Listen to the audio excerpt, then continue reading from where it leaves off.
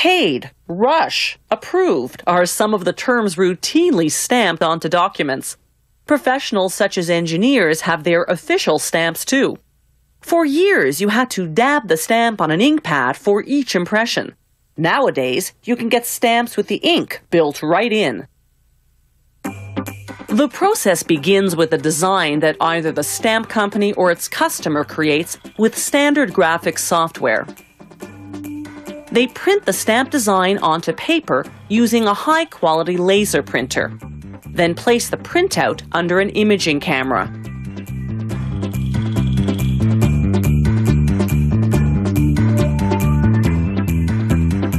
They feed in a blank sheet of negative film.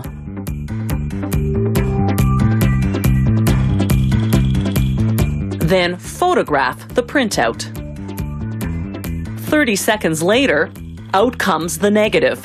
The design is light, the background dark.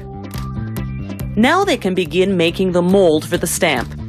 They apply the negative to a plate of light sensitive polymer, a plastic like material.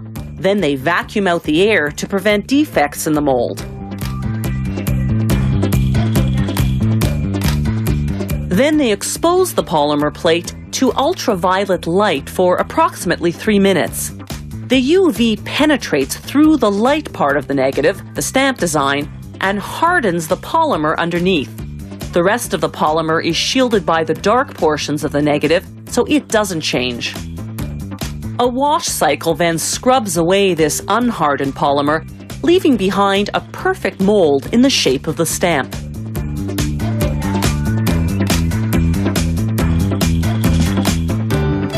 Now they cover the mold with a sheet of synthetic resin called Bakelite and put it into a machine called a vulcanizer. The machine heats the Bakelite to 154 degrees Celsius then forces it into the mold using 2 to 3 tons of pressure. After 4 minutes, the Bakelite stamp is ready.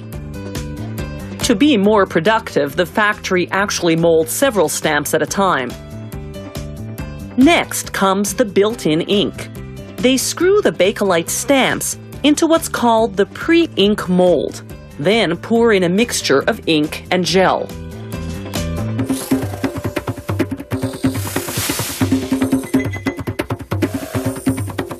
They cover the mold and vacuum out the air, a process that takes 12 minutes. The mold then goes into a heat press for 17 minutes.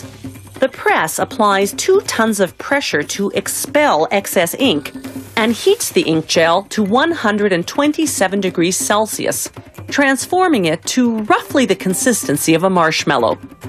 So it won't overcook, the mold goes onto a special cooling table for 12 minutes.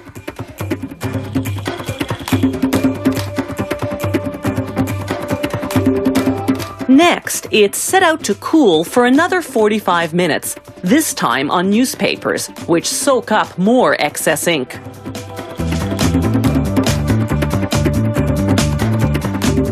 Finally, they wrap the mold in paper towels and newspapers and vacuum out the last drops of excess ink.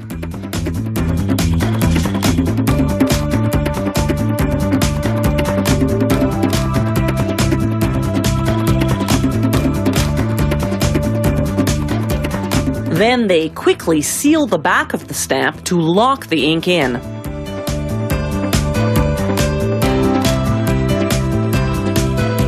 Now they can cut apart the individual stamps.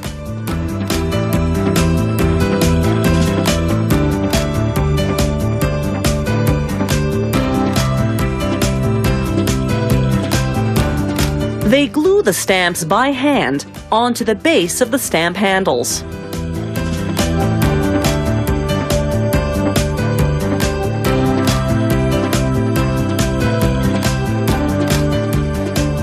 Before they're shipped out to the customer, all the stamps undergo a quality control check to make sure they'll leave a lasting impression.